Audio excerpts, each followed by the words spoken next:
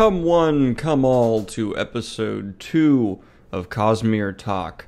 I appreciate you, Zach, for giving me the idea for this uh, intro. Come one and come all works a lot better. Although it makes me think of that like opening song, or not opening, that song from uh, Willy Wonka and the Chocolate Factory, where it's like, "Come and see, and you'll be."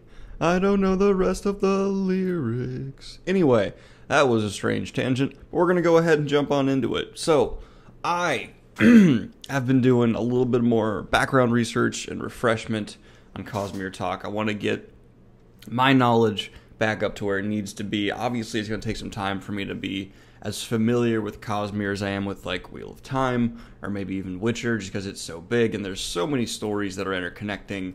So I've been doing a lot of refreshing, and I'll be starting Secret Histories very soon, just so I can uh, be like totally informed on what I need to be.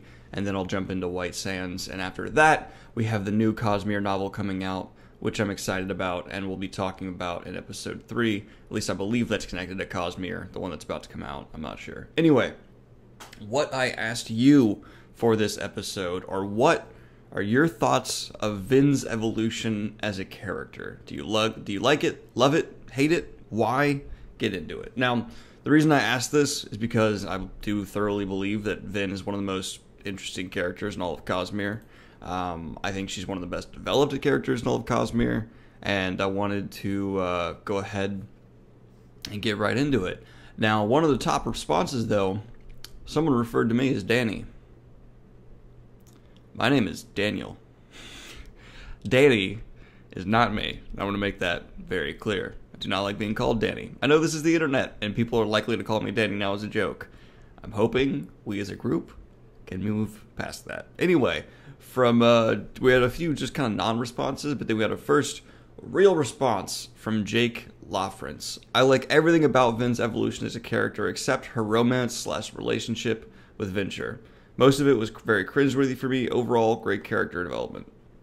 So that was actually a familiar, like a consistent line of um, criticism. A lot of people really did not like her romance. It was pretty much everybody's biggest um, criticism, whether it was with Elend or with Venture. So now we had a name I am going to have a typical struggle with here. Nahulildambable 526. That's the best I can do there. For me, the Vin slash Elend relationship is about is not about romance, at least not from Vin's point of view. I think that relationship is Vin's desperate attempt to get a new family that gives her the love and emotional support that she never had due to her tragic past. I clarify that I do not try to make you change your opinion, but to explain the situation from another perspective.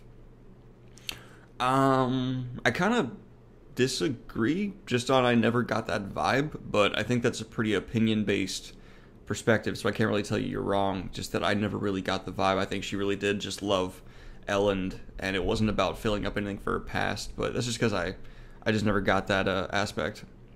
Now we have another one from Matthew Stormblessed. Matthew, I know you're listening. How's your day going? What's new in your life? And I always know you're listening to these because Stormblessed is in your username.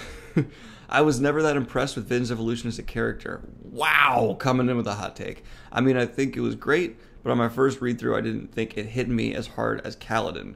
I do think it was well written. I can kind of relate to being somewhat someone who doesn't engage with other people often and to see Vin move mostly past this and become excuse me become a bad ass was very nice. Overall, I would give it a seven out of ten. Kaladin being a ten. Interesting, interesting. See, I think Vin's evolutions had way more depth and nuance to it than Kaladin so far.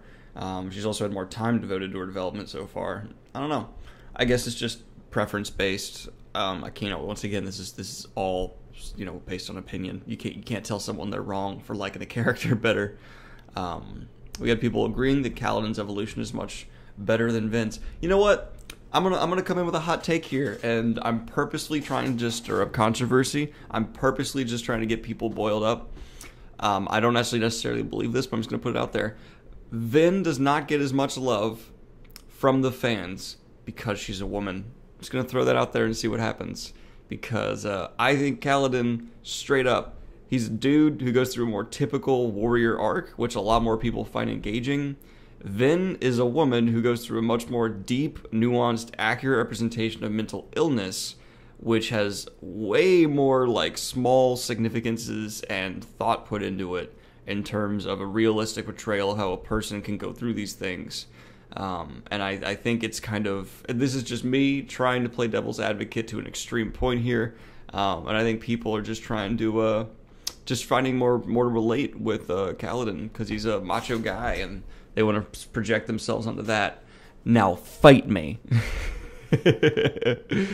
um, and we had a bunch of back and forth between that point on Kaladin, and uh, then we had um, Ryan Ratchford coming in. Ryan I love your comments, man. Always so good. The fact that you're pointing a gun at me in your profile picture, slightly nervous, but you know, I'll get over it. Um, spoilers for Mistborn Well of Ascension. Ah, I forgot to mention the fact.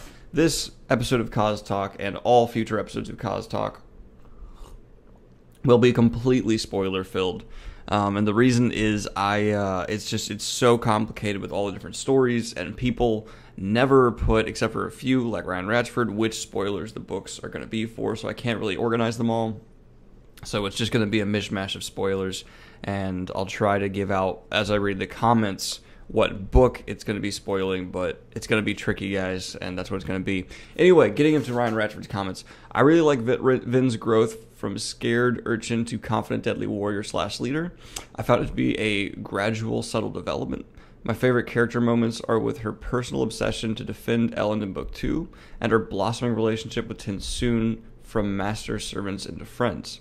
However, my least favorite parts from the same book, the entire Zane subplot and the love triangle with her considering running away with him. I felt it was a tang- it was a triangle because she talked to Sazed about her uh, hesitations with Elend and there being another guy. on spoilers, once Zane was killed, she decided to marry Elend. Not a fan of the subplot as it felt kind of forced to me.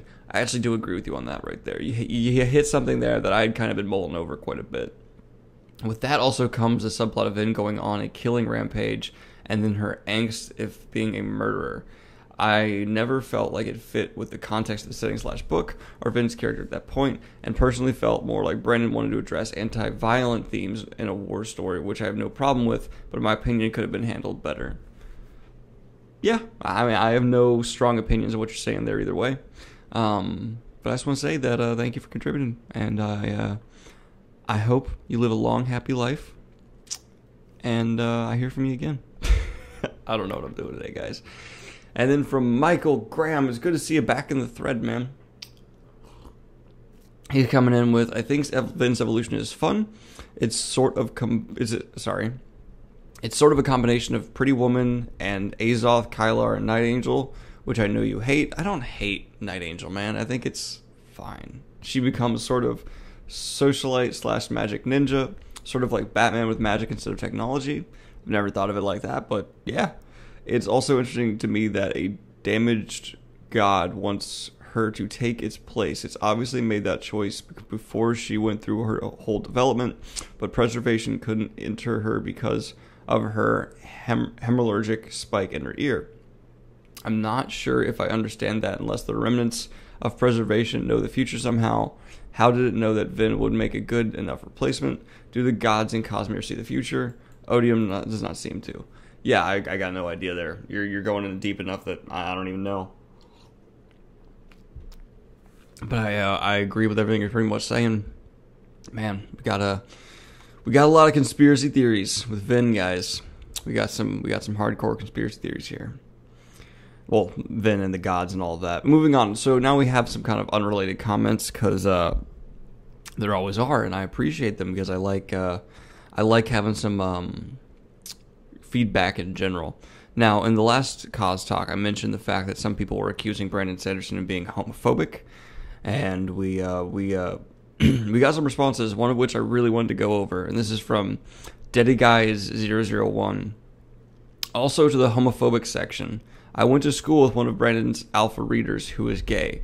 He has never provided any evidence of any prejudice and has nothing but good things to say about Sanderson. Apparently, they had a pretty good friendship. Make of it what you will. Well, I don't know if this person's being 100% truthful because I don't know who they are, but you know what? I don't see anyone any reason to doubt them, and I don't believe Brandon Sanderson's homophobic after everything I've seen. So I like the dude. If you all got problems with him for some reason, that's your issue. I'm gonna continue to enjoy his books. Um, now we have uh, Moore's responses to that general idea that I found very interesting. This is from McKay Heaton. Being a practicing Mormon as well as an avid fan of your channel and fantasy, I was wondering when the question about Brandon Sanderson homophobia would come up. I really appreciate and am not at all surprised by your response. You've always shown a really well measured and thoughtful approach that I've been impressed by. I hope more on both sides of these arguments sit down and find out that we have more in common, such as the love for great books, than we have for differences between us. As far as the approach to gay marriage, if you dig into Brandon Sanderson has written on his website and other places like Reddit, I think you'll find some of the better articulated ideas of those of us on, on the left side of the church umbrella, which is still super right wing to many, but there is what it comes down to, I guess. Anyway, thanks again for your thoughts. Dude, I appreciate this comment on such a deep level. People who can disagree and still respect each other that's man, that's how we fix all the stuff that's going wrong with our country right now. Just being able to say, "Hey, I disagree. Here's why." Be respectful, and that's how you uh, that's how you change someone's mind, man. I don't know. Um, so now we have uh, some just kind of we have a little bit of a um, name of the wind talk going on. Not entirely sure why. I uh, didn't ask any questions about that, but okay. Um, a bunch of people ask me to read Secret History and just stuff like that. Um, no, I'm not going to do Comment Clapback Volume 3, although I've had a few people asking me to do that. I love you guys, but I feel like if I do that too often, there's going to be people who are just leaving comments to have that happen. You know what I mean? And I don't want to get into that. Anyway, that's pretty much all the comments that were on topic here, and I'm extraordinarily tired. So this is going to be a bit of a short episode. Um, but I hope you guys enjoyed this video, and I have a question here for next week's episode. If you were going to be able to be dropped into anywhere in Cosmere, the largest fantasy universe so far put to paper in terms of multiple worlds and all that, which one would you, which world would you want to be dropped into, and why? I'd love to know what you think. Let me know in the comments down below. And uh, please justify your answer. I'd love to know why where you want to go is better the more everyone else wants to go. Anyway, y'all have a good one. Like and subscribe if you haven't already, and hit the Patreon if you want to support what I do here. Peace.